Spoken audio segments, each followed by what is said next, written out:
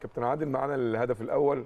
هي كانت تمريره من معلول نبداها من البداية. آه بص من ياسر العادل خلت الدفاع رغم إن الدفاع واقف وقفة جيدة على أيوة. فكرة ومراقبه كويسة الخمسة اللي ورا واقفين خطواتهم كويسة لكن تيجي هنا ال- النادي الأهلي والباص والتحرك اللي هو بتاع قفشة كان جيد جدا. أهم ما في الموضوع الاستلام كمان يا كابتن. الاستلام أيوة.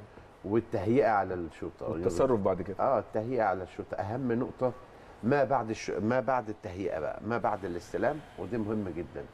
أهو استلم قفشة عنده ميزة كويسة.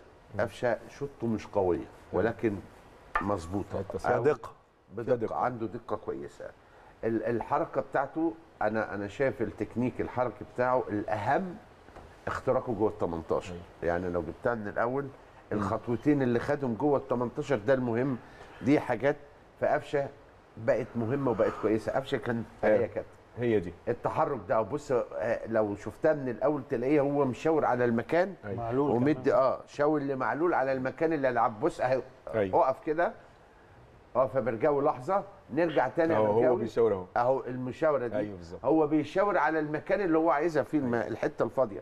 ودي يعني كان ممكن لو ما فيش المشاورة دي كان ممكن يحطها له في رجله هنا. أيوة. لسه هيلف. لكن هو خدها في المساحة ودي حاجة مهمة. رغم إن أقول لك حاجة محمد شريف مخطئ في دي برضه. محمد شريف كان لازم ياخد اللعيب يرجع بظهره.